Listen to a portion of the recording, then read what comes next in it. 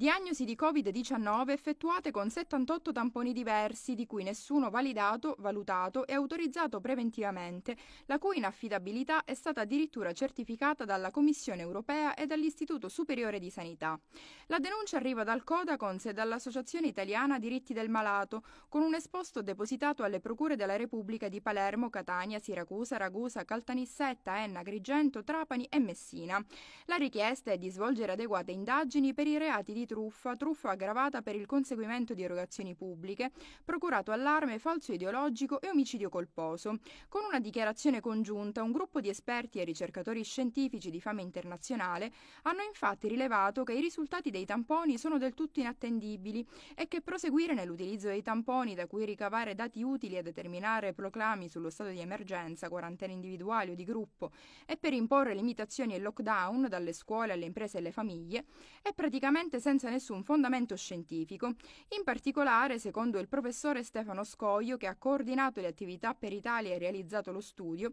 i tamponi Covid-19 producono fino al 95% di falsi positivi, come certificato dall'Istituto Superiore di Sanità, il che comporta, si legge nella nota diramata dal Codacons, che non esiste tutt'oggi nessun marker specifico del virus e quindi nessuno standard che possa rendere i tamponi affidabili. Dietro l'alto numero di tamponi falsamente positivi prosegue la nota, si potrebbe nascondere inoltre un grosso business ospedaliero. Secondo quanto dichiarato dall'ex capo della protezione civile Guido Bertolaso, infatti, gli ospedali non si privano dei malati Covid per l'alto indennizzo dato per i ricoveri.